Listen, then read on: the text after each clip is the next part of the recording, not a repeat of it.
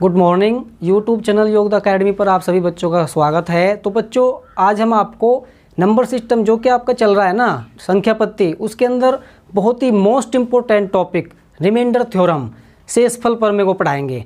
ज़्यादातर हमारे बच्चे शेषफल परमे को इग्नोर कर देते हैं और ज़्यादातर बच्चे इसको टॉपिक को जो है ना बहुत कठिन समझते हैं। लेकिन बच्चों, आज हम आपके सामने इस टॉपिक को बहुत ही आसान कर देंगे। क्यों? क्योंकि पहले हम आपको इसका बेसिक कंसेप्ट पढ़ाएँगे। किसी भी टॉपिक किसी भी चैप्टर का बेसिक कंसेप्ट पढ़ना बच्चों बहुत ही ज़रूरी है। जिससे कि जो भी हमारा टॉपिक है या जो भी हमारा चैप्टर है जिसको हम पढ़ रहे हैं, वो उसको समझने में बहुत आसानी हमें हो जाती है। ठीक है? तो चलिए चलते हैं शेषफल प्रमेय रिमाइंडर थ्योरम तो बच्चों, सबसे पहले बेसिक से स्टार्ट करते हैं और बेसिक से स्टार्ट करके हाई लेवल तक पहुँचेंगे। देखिए, सबसे पहले हम एक छोटा सा सिंपल सा एग्जांपल ले लेते हैं। सिंपल एग्जांपल जैसे कि सेवन डिवाइड बाई थ्री। तो सबसे पहले बच्चों ये समझिए कि हमें सात को तीन से डिवाइड करना है और इसके अंदर शेषफल को बताना है। शेषफल कितना होगा? तो जनरली बच्चों हम भाग दो प्रकार से करते हैं। दो प्रकार से डिवाइड करते हैं। चलिए, तीन से भाग देते हैं सात को। तीन दुनी हुआ छः। छः कितना रिमाइंडर हुआ? रिमाइंडर हुआ बच्चों आपका एक। एक बचा। इसी प्रकार से भाग बच्चों, हम एक और टाइप से दे सकते हैं। देखिए, सात को हमने भाग दिया तीन से ही तो हम तीन या नौ पर भी टेबल चला सकते हैं। लेकिन रिमाइंडर जब हमारा यहाँ बचेगा तो माइनस का होगा। माइनस दो। तो बच्चों, इस आधार पर हम कह सकते हैं कि रिमाइंडर हमारे दो प्रकार के होते हैं। पॉजिटिव रिमाइंडर निगेटिव रिमाइंडर ठीक है ना? ये आपका होता है पॉजिटिव रिमाइंडर और ये होता है बच्चों निगेटिव रिमाइंडर ठीक है? दोनों रिमाइंडर को हम यूज़ कर सकते हैं। अपने क्वेश्चन में अपनी सुविधा के अनुसार हम दोनों रिमाइंडर को यूज़ कर सकते हैं। लेकिन बच्चों, आपने एक बात को स्पेशली माइंड में सेट करना होगा कि जब हम फाइनली आंसर देंगे तो हमें केवल और केवल आंसर पॉजिटिव रिमाइंडर में ही देना होता है। प्लस का जो शेषफल होता है, हमारा फाइनली आंसर उसमें ही होना चाहिए। ठीक है? लेकिन अपनी सुविधा के लिए, अपनी कैलकुलेशन को और आसान करने के लिए हम इसको या इसको किसी को भी यूज़ कर सकते हैं। पॉजिटिव वाले को यूज़ कर सकते हैं, निगेटिव वाले को भी यूज़ कर सकते हैं। चलिए देख लेते हैं, निगेटिव और पॉजिटिव का ये क्या फंडा होता है, इसको ज़रा स्पष्ट कर लेते हैं। देखिए, सात बटे तीन, इसी एग्ज़ाम्पल को दोबारा समझते हैं। सात बटे तीन एग्ज़ाम्पल हमारा है सात बटे तीन। देखिए डायरेक्टली बताते हैं, जब हम सात को तीन से डिवाइड करते हैं तो सबसे पहली बात बच्चों बेसिकली क्या करते हैं, जो हमारी संख्या है, हमारी मेन संख्या क्या है बच्चों? सेवन है। सेवन को हमें डिवाइड करना है थ्री से। तो हमें क्या देखना है सेवन के हमें बिल्कुल नज़दीक में सेवन के हमें नज़दीक में जाना है। इस प्रकार से टेबल चलाना है हमें थ्री का। कि इसके बिल्कुल नज़दीक में पहुँचा जाए, इसके बिल्कुल नज़दीक में पहुँचा जाए। अब या तो आप नीचे वाली संख्या देखेंगे, या आप इससे ऊपर वाली संख्या देखेंगे। ध्यान से सुनिए मेरी बात को। या तो आप इससे ऊपर वाली संख्या देखेंगे, या फिर इससे नीचे वाली संख्या देखेंगे। जो एग्जैक्ट थ्री से डिवाइड हो जाए।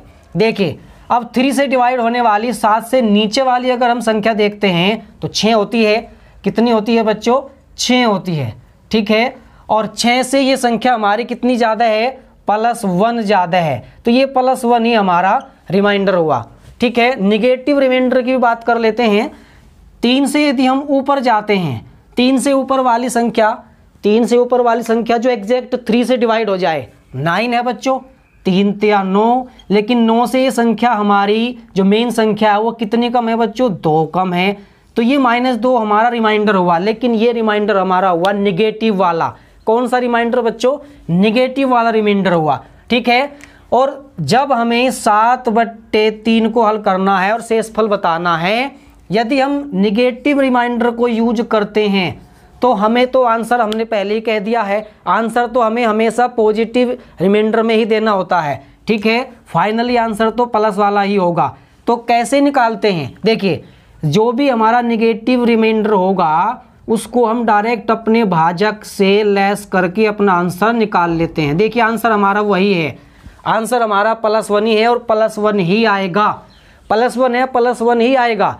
यूज़ आप चाहे निगेटिव रिमाइंडर कर लो, चाहे पॉजिटिव रिमाइंडर कर लो। प्लस वाले शेष फल को या निगेटिव वाले, माइनस वाले शेष फल को, किसी को भी आप यूज़ कर सकते हैं। ठीक है? एक क्वेश्चन और देख लेते हैं। एग्ज़ाम्पल है, देखिए जैसे अस्सी और बटा नौ। बच्चों, हमारे सामने एग्ज़ाम्पल है, अस्सी बटा नौ। अस्सी को हमें नौ से डिवाइड करना है और हमें शेष फल को निकालना है। हमें रिमाइंडर चाहिए। इसमें हमें रिमाइंडर चाहिए, ठीक है? इसमें रिमाइंडर चाहिए। पहले बेसिक हम पढ़ रहे हैं, पहले बेसिक कंसेप्ट हम तैयार कर रहे हैं, उसके बाद में कुछ क्वेश्चन आपके सामने होंगे, ठीक है? तो पहले बेसिक कंसेप्ट क्लियर करने के बाद, ठीक है? थोड़ा थोड़ा करते करते हम हाई लेवल तक जाएँगे। बेसिक क्लियर कर लेते हैं। अस्सी बटा नौ को। अस्सी बटा नौ को हमें भाग देना है। इसको सोल्व करना है रिमाइंडर को हमें पता करना है। चलिए, देखिए, हमें 80 के नज़दीक में जाना है डिवाइड करते हुए। तो 9 का टेबल इस प्रकार से हम पढ़ेंगे जो हम 80 के बिल्कुल नज़दीक आ जाएँ। 80 के नज़दीक। अब नौ नम के अस्सी। यदि हम नज़दीक जाते हैं, नौ नम के अस्सी तो के अस्सी पर चले जाते हैं। लेकिन के अस्सी तो हमारे इससे ऊपर हो गया। तो हमारी जो मेन संख्या है, के अस्सी से है माइनस वन। एक कम है। और यदि हम इससे पीछे की ओर जाते हैं तो नौ अठी बहत्तर हुआ, और बहत्तर से हमारी ये संख्या कितनी ज़्यादा है? प्लस आठ ज़्यादा है।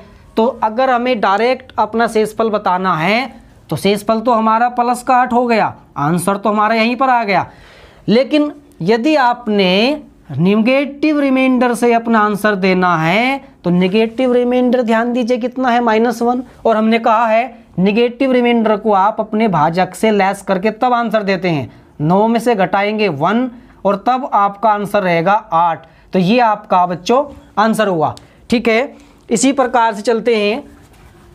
एक दो और एग्ज़ाम्पल इस पर आधारित कर लेते हैं, जिससे ये स्पष्ट हो जाएगा कि बेसिकली रिमाइंडर में हम जो पॉजिटिव और निगेटिव रिमाइंडर होते हैं, उनको कैसे यूज़ करते हैं? ठीक है? एक और एग्ज़ाम्पल देख लेते हैं। देखिए ज़रा। एग्ज़ाम्पल है seven upon eight seven upon eight सात को आठ से डिवाइड करना है और इसमें हमें रिमाइंडर को बताना है कि रिमाइंडर हमारा कितना होगा। बच्चों, अब तक हमने संख्या ली थी कि जो हमारी ऊपर वाली संख्या है, जिसको हमने भाग देना था, वो ज़्यादा थी, बड़ी संख्या थी और जो हमारी भाग देने वाली संख्या होती थी, वो छोटी होती थी। लेकिन इस क्वेश्चन में उल्टा ही हो गया। हमारा जो अंश है, जिसको हम भाग दे रहे हैं, वो छोटी हो गई और नीचे वाली संख्या हमारी बड़ी हो गई। तो ऐसे केस में हम क्या करेंगे? ऐसे केस में हमें क्या करना है? ऐसे केस में देखिए, सात बटे आठ, सात को आठ से डिवाइड करना है। तो हमें तो आठ से डिवाइड करने के लिए एग्जैक्ट वो संख्या चाहिए जो इससे कट जाए। ठीक है? आठ इकन आठ, ये मेन संख्या है हमारी। आठ इकन आठ। लेकिन ये संख्या हमारी साठ से कितनी कम है बच्चों? Minus one. तो हम कहेंगे ये हमारा रिमाइंडर हुआ। लेकिन निगेटिव रिमाइंडर को तो हमें आंसर में देना ही नहीं है। हमें तो फाइनली आंसर देना होता है प्लस वाले रिमाइंडर में। तो क्या करेंगे? आठ में से इसको लेस करेंगे और ये प्लस का रिमाइंडर हमारा सात हो गया। ठीक है? यदि आप नेगेटिव रिमाइंडर को यूज़ करते हैं तो ये प्रक्रिया आपने यूज़ करनी होगी इस प्रकार से। और यदि डायरेक्ट आप प्लस का ही रिमाइंडर चाहते हैं तो देखिए, सात से नीचे वाली संख्या ऐसी कौन सी है? जो आठ से डिवाइड हो जाए। सात से ऐसी कौन सी छोटी संख्या है बच्चों? छः नहीं है, पाँच नहीं है, चार नहीं है, तीन नहीं है, दो नहीं है, एक नहीं है। लेकिन ज़ीरो है। लेकिन ज़ीरो है। ज़ीरो तो एक ऐसी संख्या है मेरे बच्चों, किसी भी संख्या से डिवाइड हो जाती है। ज़ीरो ही एक ऐसी संख्या है सभी संख्याओं में। ज़ीरो ही एक ऐसी संख्या है जो एग्जैक्ट किसी भी संख्या से डिवाइड हो जाती है। तो यदि हम ज़ीरो लेते हैं तो जब आठ, ज़ीरो को हम आठ से डिवाइड करेंगे तो शेष फल में कितना आएगा? भागफल हमारा ज़ीरो आ गया तो यहाँ ज़ीरो होएगा, और ज़ीरो होगा तो ज़ीरो से हमारी संख्या कितनी बड़ी है? ज़ीरो से हमारी कितनी बड़ी संख्या है? प्लस सात है। तो हम कहेंगे कि हमारा जो रिमाइंडर है, वो प्लस सात आया है। ठीक है ना? यहाँ से भी आप कर सकते हैं डायरेक्ट। और देखिए, हमने पहले ही कहा है निगेटिव और पॉजिटिव रिमाइंडर को अपनी सुविधा के अनुसार। हमारी कैलकुलेशन आसान होनी चाहिए बस। किसी को भी यूज़ कर सकते हैं। माइनस वाले को भी प्लस वाले को भी। बस इस बात का ध्यान रहे कि जो फाइनली आंसर होगा, वो हमेशा पॉजिटिव रिमाइंडर में ही दिया जाता है। क्योंकि मेरे बच्चों, की जो बुकें होती हैं या एग्ज़ाम में जो क्वेश्चन होते हैं, वे हमेशा पॉजिटिव रिमाइंडर पर आधारित ही बनते हैं। इस बात को हमेशा याद रखो आप। ठीक है? तो कुछ और क्वेश्चन देख लेते हैं। देखिए, आपने डिविजिबिलिटी रूल्स भली भांति पढ़े हैं हमारी पिछले क्लास में। डिविजिबिलिटी रूल्स आपने भली भांति पढ़ रखे हैं और आपको याद भी होना चाहिए अच्छी तरह से। तो एक क्वेश्चन जो है उन पर भी ले लेते हैं। जैसे एक क्वेश्चन बेसिकली समझ लेते हैं। मैं संख्या ले लेता हूँ। बीस, इक्कीस, बाईस, तेईस। चलिए, ये संख्या मैंने बना ली कोई। और मुझे भाग करना है इस संख्या को। पहले मुझे भाग करना है टू से और मुझे इसमें रिमाइंडर ज्ञात करना है। फिर मुझे भाग करना है बच्चों चार से। फिर मुझे भाग करना है आठ से और फिर मुझे भाग करना है सोलह से। अब मुझे इनमें रिमाइंडर चाहिए।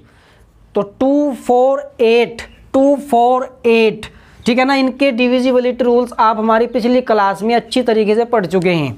सिक्सटीन का भी ऐसा ही होता है, मैं बताऊँगा आज आपको। चलिए टू के रूल के लिए पहले बात करते हैं टू की। तो टू के रूल के लिए बच्चों, आप भली बात ही परिचित हैं कि लास्ट डिजिट को ही हम भाग देते हैं।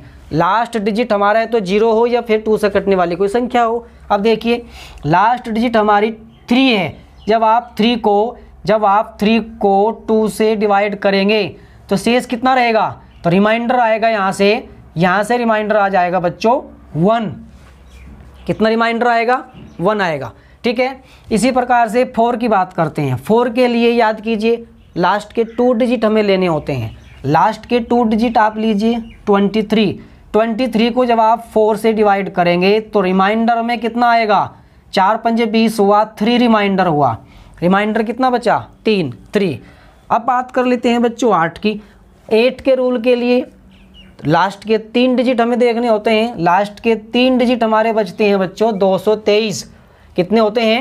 223 अब 223 को जब हम 223 को जब हम आठ से डिवाइड करेंगे तो चलिए करते हैं आठ से डिवाइड आठ दूनी सोलह हुआ।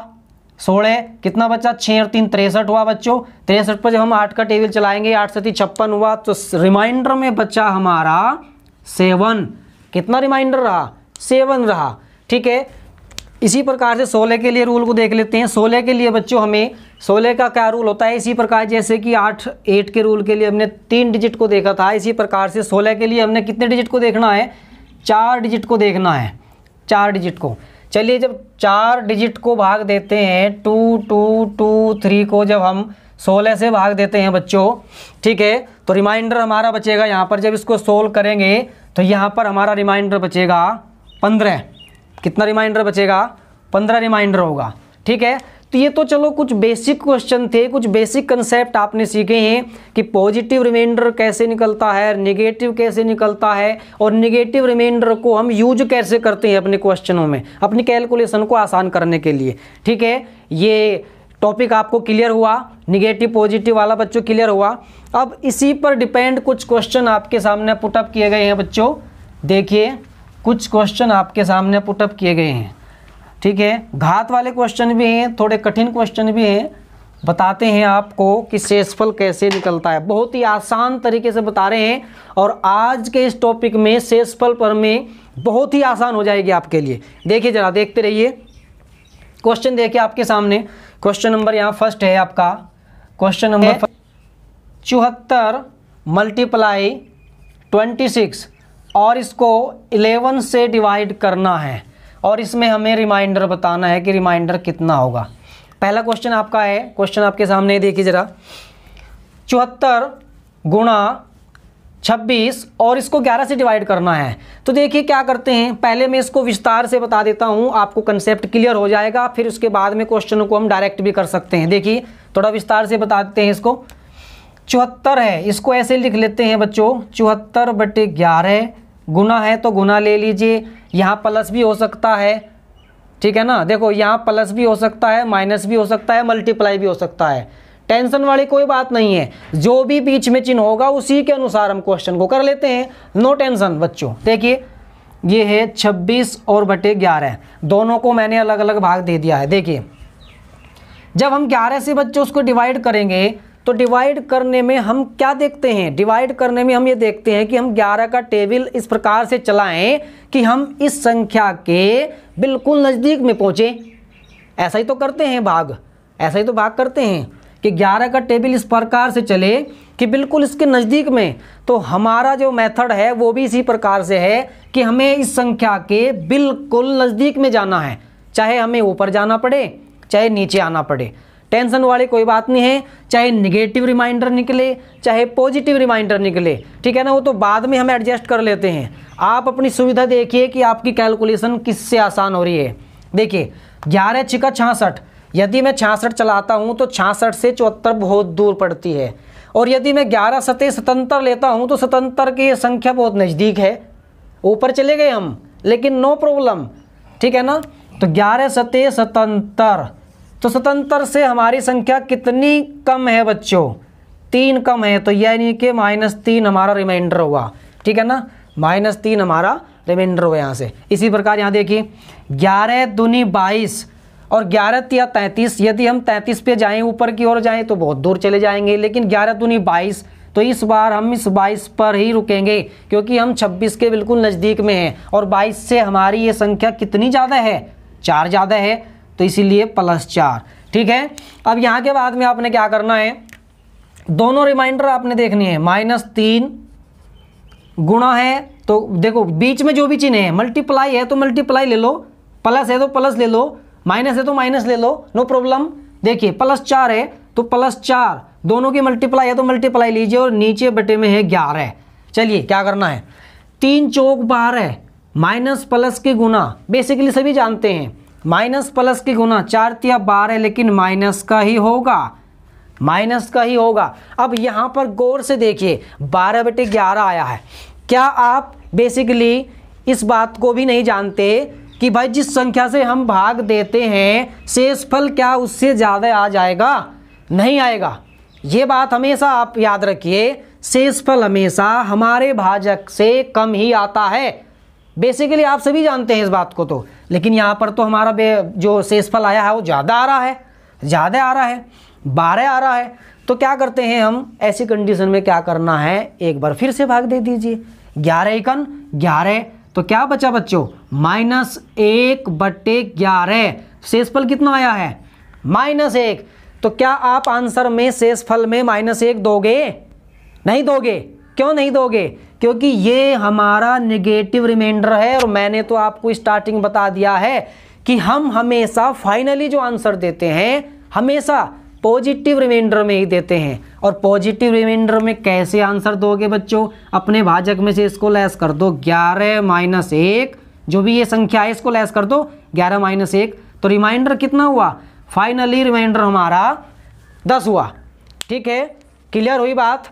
चलिए आगे चलते हैं। क्वेश्चन नंबर सेकंड आपके सामने है। देखिए ज़रा। क्वेश्चन नंबर सेकंड भी कुछ इसी प्रकार से है, लेकिन उसमें मल्टीप्लाई की जगह बच्चों। प्लस का चिन्ह आया है। ये है जी क्वेश्चन नंबर सेकंड आपका। क्या है बच्चों? पैंसठ, क्वेश्चन नंबर सेकंड। पैंसठ प्लस सत्तानवे, और भाग देना है नौ से। और इसमें हमें रिमाइंडर ज्ञात करना है। क्या ज्ञात करना है? रिमाइंडर ज्ञात करना है। देखिए, फ़र्क केवल इतना हुआ है इस क्वेश्चन में बच्चों कि यहाँ मल्टीप्लाई की जगह प्लस हो गया है। माइनस भी होता तो भी कोई फ़र्क नहीं पड़ना है। ठीक है ना? हमने बता दिया है, जो भी चिन्ह बीच में होगा, उसी के अकॉर्डिंग हम निकालते चले जाएँगे। ठीक है ना? पहले तो मैंने आपको विस्तार से बता दिया था, लेकिन अब सीधे सीधे थोड़ा कर लेते हैं इसको। जैसे कि नौ है। नौ से हमें डिवाइड करना है तो नौ से डिवाइड पहले हम इसको करते हैं पैंसठ को। फिर से वही बात है टेबल इस प्रकार से चलानी है टेबल इस प्रकार से चलानी है कि बिल्कुल अपनी संख्या के नज़दीक में हम पहुँच जाएँ। बिल्कुल नज़दीक में। नौ देखिए नौ का टेबल पढ़िए इस पर। नौ अठे बहत्तर। अब बहत्तर तो जो है ना, पैंसठ से काफ़ी दूर चला जाएगा ना? पैंसठ से काफ़ी दूर चला जाएगा। तो इसी प्रकार से नौ सती तिरसठ आप चला लीजिए। क्या चला लीजिए आप? तिरसठ। नौ सती तिरसठ। और तिरसठ से तिरसठ से हमारी जो संख्या है, कितनी ज़्यादा है? प्लस दो ज़्यादा है। कितनी ज़्यादा है? तो प्लस दो हमारा रिमाइंडर हुआ यहाँ। इसी प्रकार से यहाँ चलिए। देखिए, नौ का टेबल जब सत्तानवे बार पढ़ोगे तो नौ का टेबल अगर दस बार पढ़ते हैं तो दस निम नब्बे होता है। नब्बे से तो सत्तानवे काफ़ी दूर है बच्चों। लेकिन हम पढ़ते हैं ग्यारह निम निन्यानवे। निन्यानवे और निन्यानवे हमारा जो है ना, इस संख्या के बिल्कुल नज़दीक है। बिल्कुल नज़दीक है। लेकिन निन्यानवे से सत्तानवे हमारी कितनी कम है संख्या? माइनस दो कम है। कितनी कम है बच्चों? माइनस दो कम है। तो ये माइनस दो यहाँ रिमाइंडर हुआ। अब देखना क्या है। प्लस दो यहाँ से आया है, माइनस दो यहाँ से आया है, माइनस दो यहाँ से आया है, ठीक है ना? और डिवाइड किससे कर रहे हैं? नाइन से कर रहे हैं, नौ से कर रहे हैं। बीच में जो भी चिन्ह है, उसी के अकॉर्डिंग उसको सोल्व कीजिए। अब प्लस टू है माइनस टू है। जब प्लस टू और माइनस टू को आप सोल्व करोगे तो कितना आएगा? ज़ीरो बटे नौ। जब ज़ीरो को किसी भी संख्या से डिवाइड करते हैं, संख्या कुछ भी हो कुछ भी संख्या हो, जब किसी संख्या सॉरी जब ज़ीरो को जब किसी भी संख्या से डिवाइड करते हैं तो हमेशा ज़ीरो ही आता है। याद रखिएगा बात। ज़ीरो यही हमारा आंसर होगा और ज़ीरो ही हमारा रिमाइंडर होगा। ठीक है ना? ज़ीरो ही हमारा रिमाइंडर होगा। ठीक है बच्चों? एक और तरीके से इसको कर लेते हैं। एक और तरीके से दूसरे मेथड से भी इसको कर लेते हैं। इस बार हम प्लस प्लस ही ले लेते हैं। देखिए क्वेश्चन यहीं पर है आपका। इसी क्वेश्चन को देख लीजिए, पैंसठ प्लस सत्तानवे हुआ और इसको डिवाइड करना है नाइन से। चलिए, जब नाइन से इसको डिवाइड करेंगे आप, जब नाइन से इसको डिवाइड करेंगे तो नौ सती तिरसठ तिरसठ से ये कितनी ज़्यादा है? हमारी संख्या प्लस दो ज़्यादा है। तो ये रिमाइंडर तो हुआ यहाँ से हमारा प्लस टू इस प्रकार से जब इसको भाग करेंगे सत्तानवे को तो नौ दस बार टेबल चलेगा। नब्बे नब्बे से हमारी संख्या कितनी ज़्यादा है? प्लस सात। देखिए, बीच में प्लस चिन्ह है तो प्लस दो, प्लस सात, ये हुआ प्लस के नौ, और नौ से ही डिवाइड करेंगे। तो नौ से नौ क्रॉस हो जाएगा, और रिमाइंडर कितना बचेगा? ज़ीरो देखो, फिर से वही बात आ गई। मैंने पहले ही स्पष्ट कर दिया है, यदि आप नेगेटिव लो पॉजिटिव लो, कोई सा भी रिमाइंडर आप अपनी सुविधा के अनुसार यूज़ कर सकते हैं। बस इतना ध्यान रखना है कि जब आप फाइनल में आंसर दोगे ना तो वो प्लस का ही रिमाइंडर होना चाहिए। प्लस के रिमाइंडर के रूप में ही फाइनली आंसर देते हैं। ठीक है? आगे चलते हैं। क्वेश्चन नंबर थर्ड देखिए। थोड़ा बड़ा है क्वेश्चन कुछ संख्या उसमें बढ़ी हुई है।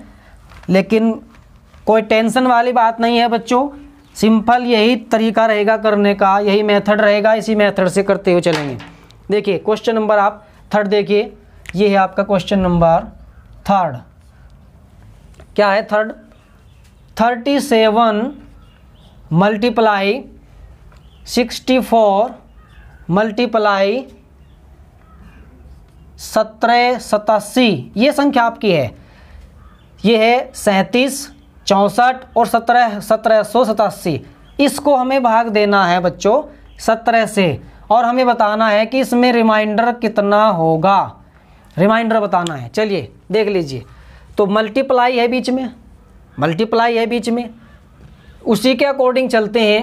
पहले सैंतीस को देख लेते हैं, फिर चौंसठ को देख लेते हैं, फिर सत्रह सौ सतासी को देख लेते हैं। डिवाइड किससे करना है? सत्रह से करना है।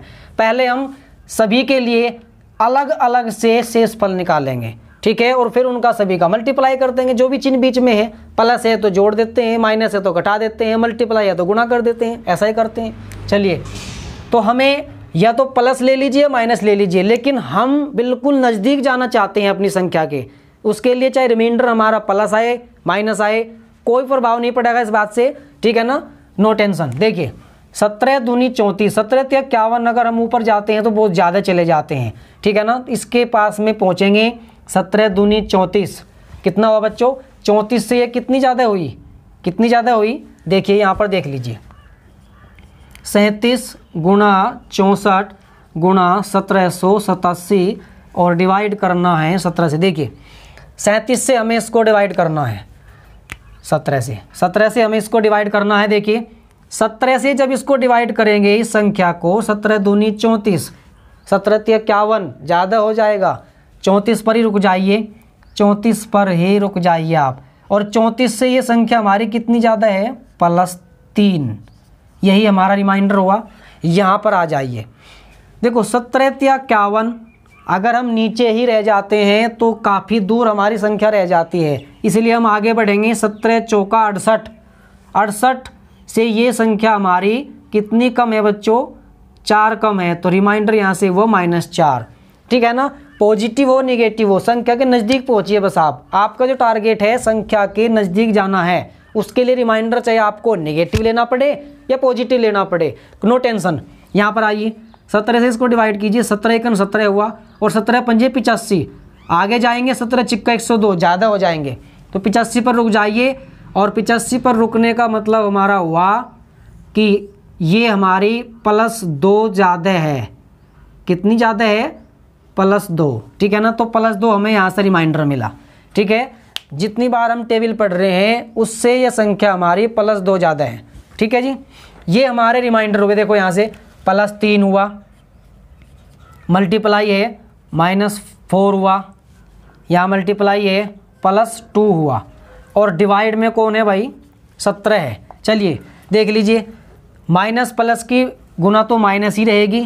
तीन चौक बारह हुआ और बारह दूनी कितना हुआ भाई? चौबीस हुआ। फिर से वही कहानी बन गई कि सत्रह से ज़्यादा शेषफल आ गया, जबकि ऐसा तो कभी होता नहीं है कि भाजक से ज़्यादा हमारा शेषफल आ जाए। अगर ऐसा होता है तो हम फिर से भाग दे लेते हैं। नो टेंशन फिर से भाग दे लीजिए।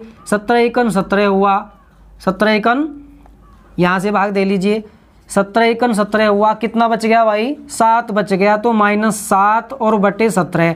शेषफल ये आ गया माइनस सात। लेकिन आंसर हम हमेशा याद है ना? आंसर हम हमेशा पॉजिटिव रिमाइंडर में देंगे। पॉजिटिव रिमाइंडर में। तो पॉजिटिव निकालने के लिए जो हमारी संख्या है, उसमें से हम इस संख्या को अपनी घटा देंगे और ये आ जाएगा टेन तो हमारा जो फाइनली रिमाइंडर आया है, वो आया है टेन दस आया है। ठीक है? क्लियर हुआ क्वेश्चन नेक्स्ट आगे क्वेश्चन को देखिए। क्वेश्चन नंबर हमारा चार. उसमें भी आपको थोड़ा इसी प्रकार से करना है, उसमें मल्टीप्लाई की जगह प्लस भी हो सकता है माइनस भी हो सकता है, ठीक है ना? इस बात से कोई फ़र्क नहीं पड़ना है, ठीक है? प्लस हो माइनस हो या मल्टीप्लाई हो। देखिए क्वेश्चन नंबर आप चार। ये है हमारा क्वेश्चन नंबर चार। तीन सौ चार है भाई। क्वेश्चन नंबर चार है। तीन सौ सत्ताईस और फिर है नाइन एट सिक्स नाइन और फिर मल्टीप्लाई में दिया हुआ है एट सेवन सिक्स सेवन चलिए, इसको डिवाइड करना है फाइव से और इसमें हमें रिमाइंडर बताना है। इसको फाइव से डिवाइड करना है रिमाइंडर बताना है। ठीक है ना? चलिए रिमाइंडर बता देते हैं। देखिए फाइव के लिए तो वैसे भी आप स्पेशली जानते हैं कि फाइव के लिए तो लास्ट में ज़ीरो होनी चाहिए या फिर फाइव होना चाहिए तो हम केवल ज़ीरो को ध्यान रखते हैं। ठीक है ना? हम ज़ीरो बनाने की कोशिश करते हैं। और उसी के अकॉर्डिंग चलते हैं। जैसे कि देखिए लास्ट डिजिट को देख लीजिए आप। सेवन है और सेवन में ज़ीरो बनने के लिए ज़ीरो का मतलब हुआ टेन टेन टेन बनने के लिए कितना कम है? माइनस तीन कम है। तो माइनस तीन यहाँ से रिमाइंडर हुआ। ठीक है ना? यहाँ से रिमाइंडर माइनस तीन हुआ। इसी प्रकार से यहाँ से देखिए नाइन है। नाइन में ज़ीरो बनने के लिए, यानी कि टेन बनने के लिए कितना कम है? माइनस वन यहाँ से रिमाइंडर हुआ। इसी प्रकार यहाँ पर देखिए, फिर से वही सेविन आ गया। सेविन में फिर से वही बात है। कितना कम है? माइनस थ्री कम है। आ जाइए। बीच में मल्टीप्लाई है, minus three, minus one, minus three. Multiply है तो मल्टीप्लाई कर देंगे, पाँच से डिवाइड करना ही है हमको। चलिए, जब माइनस, फिर माइनस, प्लस हुआ और फिर से माइनस तो माइनस ही आएगा। ये स्पेशली ध्यान रखा जाए, माइनस की यदि आप मल्टीप्लाई इवन संख्या में कर रहे हैं तो प्लस होता है, और यदि आप माइनस की मल्टीप्लाई बच्चों और संख्या में कर रहे हैं तो हमेशा माइनस ही होता है। ठीक है? तो तीन इकन तीन हुआ और तीन तिया नौ हुआ। तो ये माइनस का नौ आ गया और ये बटे पाँच हो गया। लेकिन ऐसा तो होता नहीं है कि भाजक से ज़्यादा हमारा शेषफल आ जाए तो फिर से भाग कर लेते हैं। पाँच इकन पाँच तो माइनस चार आ गया और बटे पाँच। लेकिन निगेटिव रिमाइंडर आया है। निगेटिव है। आंसर पॉजिटिव में देंगे, उसके लिए क्या करोगे आप? अपने भाजक में से इस निगेटिव जो रिमाइंडर है, उसको लेस करके तब आंसर दोगे। पाँच में से चार घटाइए, एक। तो हमारा ये रिमाइंडर बचा है वन। ठीक है ना? रिमाइंडर कितना आया है? वन आया है। ठीक है? क्वेश्चन क्लियर हुआ बच्चों? आगे चलते हैं। ये हमारे कुछ बेसिक क्वेश्चन थे। ठीक है ना? मल्टीप्लाई या प्लस हो या माइनस हो, इसी प्रकार संख्याएँ। ठीक है? और भी संख्याएँ आगे तक बढ़ सकती हैं। लेकिन आपको इसी प्रकार से करना है। अब कुछ क्वेश्चन हमारे पावर्स वाले होते हैं, घात वाले होते हैं, ज़रा उनको भी देख लीजिए। देखिए, कुछ क्वेश्चन हमारे घात वाले हैं। क्वेश्चन हमारा है, देखिए फाइव है। एग्ज़ाम्पल नंबर फाइव है। ये है सड़सठ की पावर कितना है भाई? अस्सी है। सड़सठ की पावर अस्सी है और इसको भाग दिया जा रहा है अड़सठ से। और पूछता है कि इसमें रिमाइंडर कितना होगा? चलिए रिमाइंडर ढूंढना है हमको। हमको रिमाइंडर को ढूंढना है। देखिए, ऐसे क्वेश्चनों में क्या करना है आपने? आपने घात पे तो ध्यान नहीं देना है। ठीक है ना? इस संख्या पे ध्यान दीजिए आप। सड़सठ है और ये अड़सठ है। ये सड़सठ है, ये अड़सठ है। तो अड़सठ का जब हम टेबल इसके ऊपर पढ़ेंगे तो इस प्रकार से पढ़िए, या तो प्लस वन हो, या माइनस वन हो, या तो एक कम हो, या एक ज़्यादा हो। और यदि कोई संख्या ऐसी नहीं है तो पावर का यूज़ कर लेते हैं पावर को कम ज़्यादा करके ऐसी संख्या बना लेते हैं कि जब टेबल चले तो ये तो प्लस वन बचे या माइनस वन बचे, ठीक है? बहुत क्वेश्चन में आगे भी आपको पढ़ाऊँगा। चलिए, पहले इसको देख लेते हैं। जब अड़सठ का टेबल हम सड़सठ पर पढ़ रहे हैं बच्चों तो देखिए, अड़सठ इकन अड़सठ अड़सठ इकन अड़सठ, लेकिन हम ऊपर चले गए हैं। ऊपर चले गए हैं तो कितना ज़्यादा है हमारी संख्या? कितनी कम है इससे अड़सठ से? अड़सठ से हमारी संख्या बच्चों कम है माइनस वन, ठीक है ना? माइनस वन कम है। तो ये रिमाइंडर हुआ बच्चों। लेकिन इस माइनस वन को हम कितनी पावर में लिखेंगे? अस्सी। जो पावर है वो पावर सेम रहेगी, जो कि तो रहेगी। और डिवाइड किससे करना है? सिक्सटी एट से। देखिए, मैंने अभी अभी आपको एक बात बताई थी कि यदि माइनस की पावर इवन संख्या में है तो हमेशा प्लस और संख्या में है तो हमेशा माइनस याद रखी जाए ये बात। तो ये संख्या आपकी इवन है। अस्सी है तो इवन संख्या है, ठीक है ना? इवन नंबर है तो माइनस क्या होगा? प्लस वन हो जाएगा। और ये अड़सठ। और डायरेक्ट प्लस का ही रिमाइंडर आ गया। तो अब तो हमें कुछ करने की आवश्यकता ही नहीं है इसमें। तो डायरेक्ट आंसर दे सकते हैं। तो हमारा रिमाइंडर कितना हुआ? एक। कितना रिमाइंडर हुआ यहाँ पर? एक हुआ। ठीक है? इसी प्रकार, एक और लास्ट क्वेश्चन देख लीजिए। क्वेश्चन नंबर छः देख लीजिए आप। क्वेश्चन नंबर छः देखिए क्वेश्चन नंबर छः आपका है। क्वेश्चन नंबर छः आपका है। लास्ट क्वेश्चन होगा आपका। ट्वेंटी सिक्स ट्वेंटी सिक्स की पावर है सेवेंटी फाइव और डिवाइड में है ट्वेंटी फाइव और इसमें हमें रिमाइंडर बताना है। चलिए, रिमाइंडर बताना है। रिमाइंडर निकालने के लिए बच्चों, रिमाइंडर निकालने के लिए पहले इस बात पर ध्यान दीजिए आप, ये संख्या आपकी 26 है और ये 25 है। यदि हम 25 का एक बार टेबल पढ़ते हैं तो प्लस वन एक्स्ट्रा है हमारी संख्या, ठीक है ना? तो यहाँ पर तो सीधे ही हो जाएगा, जब हम डिवाइड करेंगे तो 25 सेकंड पच्चीस तो हमारी संख्या कितनी ज़्यादा है? प्लस वन ज़्यादा है। और जब प्लस वन की पावर रखेंगे, और डिवाइड में हमारा 25 है तो जब प्लस वन की पावर अब प्लस वन है पावर कितनी भी कर लीजिए प्लस की तो आप कितनी बार मल्टी कर लीजिए प्लस तो प्लस ही रहता है। तो प्लस वन ही रहेगा और इसमें आपने कुछ भी नहीं करना है क्योंकि रिमाइंडर हमारा डायरेक्टरी प्लस वाला आया है तो आंसर आपका होगा रिमाइंडर वन रिमाइंडर वन ठीक है? ये थे आपके कुछ आज घात वाले भी हैं क्वेश्चन और सिंपल क्वेश्चन आज आपको हमने बेसिक क्वेश्चन पढ़ाए हैं शेषफल परमे से संबंधित ठीक है? आगे वीडियो हमारी देखते रहिए क्योंकि बच्चों में हम आपको रिमाइंडर से संबंधित बड़ी बड़ी घात वाले क्वेश्चन भी लाने वाले हैं, ठीक है ना? कुछ टेक्निकल क्वेश्चन भी लाने वाले हैं। इसीलिए वीडियो को देखते रहिए लाइक और सब्सक्राइब ज़रूर कीजिए। धन्यवाद।